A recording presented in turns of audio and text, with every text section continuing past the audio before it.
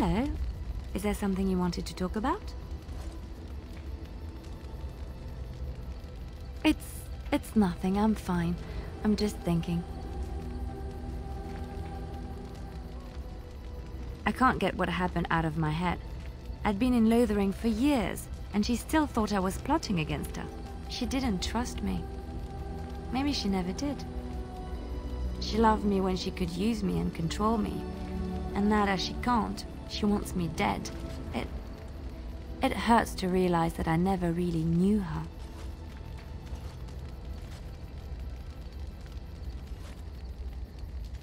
You are already helping so much by listening to me.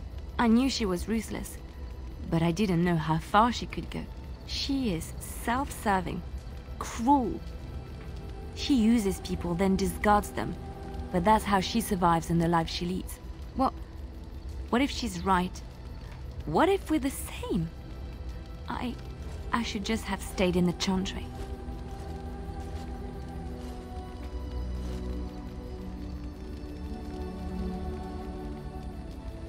I could have been wrong about the Maker.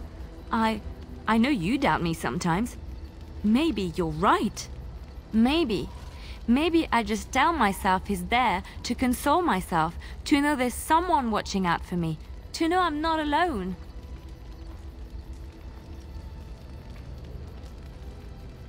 But I was. I was alone and desperate when I fled to Ferelden. I went to the only place I knew would take me. I forgot my life as a bard while I was in the cloister. I felt safe.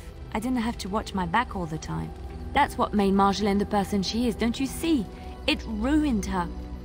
It will ruin me too. Even now, I feel some regret at not ending her life in order to protect my own.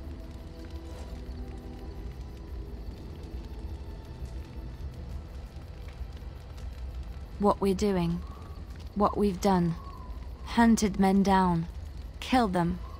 Part of me loves it. It invigorates me, and this scares me. I...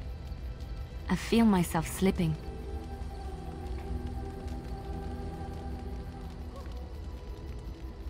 How can you be so sure?